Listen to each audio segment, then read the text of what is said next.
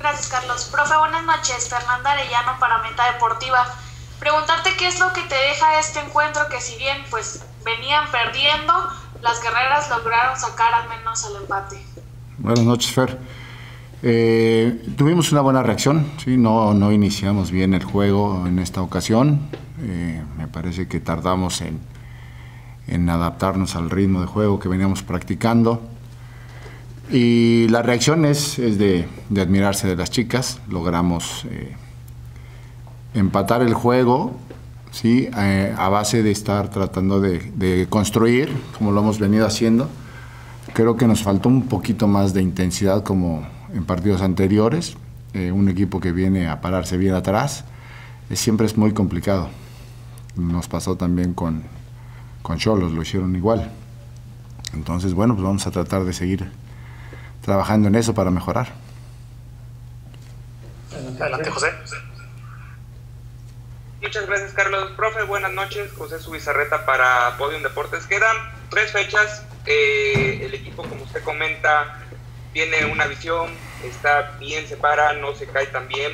Eh, ¿Cómo espera este cierre en cuestión con las chicas mentalmente y físicamente para, para cerrar ese torneo? Digo, porque pues obviamente buscar todos los puntos posibles para cerrar de la mejor manera. Gracias. Claro, este, mira, eh, nosotros hasta antes de este partido todavía teníamos posibilidades matemáticas, ¿sí? Obviamente eh, los rivales que están arriba de nosotros, los equipos que están arriba de nosotros tenían, tienen otros partidos. Algunos aparentemente complicados, otros aparentemente no tanto.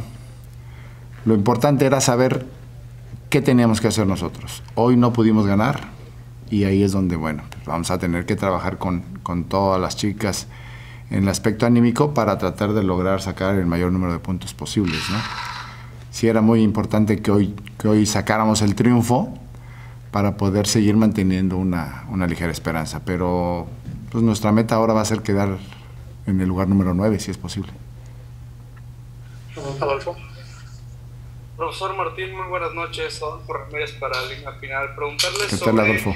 Wendy Toledo, una jugadora que estuvo ausente, hoy la pudimos ver en la banca. Eh, preguntarle cómo ha visto usted el desempeño de Wendy, su rendimiento desde que se reintegró a los trabajos con el grupo y si la podremos ver de regreso en la titularidad la siguiente jornada. Sí, seguramente sí. Sí, ella se reintegró ayer, entonces por eso no pudo participar, no había entrenado, entonces seguramente sí la vamos a ver la próxima, la próxima semana. Es una jugadora que tiene una, una capacidad que todo el mundo conoce a nivel de, de, selección, a nivel mundialista, y es evidente que tenemos que tenerla ahí, es, es garantía en el arco. No alineó porque no había entrenado, apenas ayer se recuperó. Fernanda, una vez más, por favor. Profe, nuevamente a Fernanda. Sí, Fer. Preguntarte cómo manejar el, pues ahora sí que lo físico, porque se están llevando un gran desgaste físico, tanto por las horas de viaje y como por el tiempo que tienen de partido hacia, el, hacia la siguiente jornada.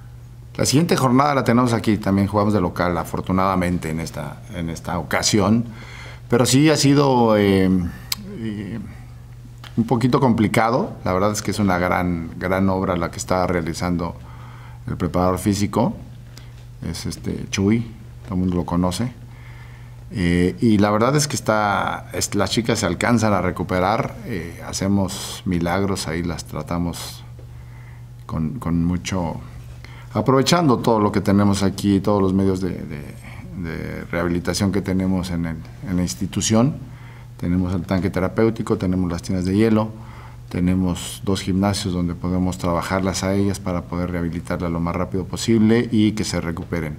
Además de que también están haciendo un gran papel los, los nutriólogos y todo lo que es el CAD, las ciencias de, de eh, aplicadas al deporte. Están haciendo maravillas con todas ellas y la verdad es que así es como se alcanzan a, a recuperar. Cerramos con Tijuana. Hola, profe, buenas noches. ¿Qué tal, Aquí Ana? Ana, Adictos. Este, preguntarle que pues ya faltan solamente tres fechas para que el torneo concluya, como ya me habíamos mencionado anteriormente, y todavía se ve rotaciones en el cuadro, Estela Gómez en, una posición diferente, de repente también Dani, o sea, todo eso, lo anímico se va a trabajar, pero eso cómo lo va a trabajar usted? Eh, ¿A qué tipo de rotaciones te refieres? Paleta eh, estuvo lesionado un tiempo y es su segundo partido después de tres, este, tres semanas de inactividad. Ajá. En cuanto a Daniela, pues Daniela siempre ha jugado donde está. No sé a qué tipo de rotaciones te refieres.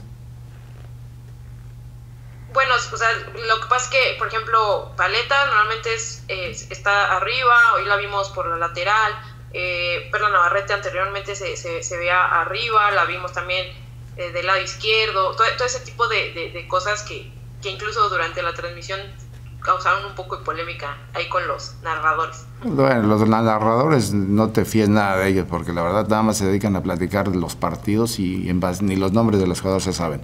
Pero la verdad es que Navarrete entró de punta. Entró de punta junto con Alexia. Eh, Paleta jugó de volante por derecha y si la veías a veces en la lateral es porque tenía que hacer un esfuerzo para marcar al rival y después se incorporaba. ¿Sí? Lo único que hicimos después fue cambiarla del lado izquierdo para que ella, con su velocidad, se metiera en diagonal hacia el centro, nada más.